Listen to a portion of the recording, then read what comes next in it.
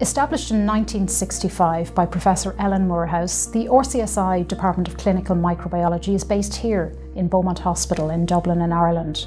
This hospital base really facilitates us to ask clinically relevant research questions that help our patients improve their care and prevent healthcare associated infection and antimicrobial resistance. So I worked as a nurse in Ireland and in the UK, so became interested then in research that changes clinical practice.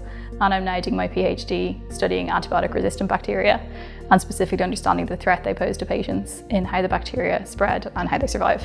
Through our education and research, we are responding to the needs of society and really improving the lives of patients and communities.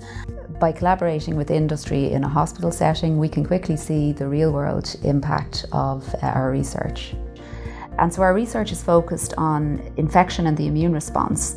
And so our scientists are discovering new ways of killing harmful bacteria and ways to boost uh, the immune response to really fight infection, uh, especially in those with underlying uh, conditions like cystic fibrosis, diabetes and renal disease. I first came to this department while I was completing my PhD looking at novel decontamination methods of hospital surfaces. This was part of the university's STAR programme. After graduating, I returned as an early career investigator in the hope that my research would continue to help patients.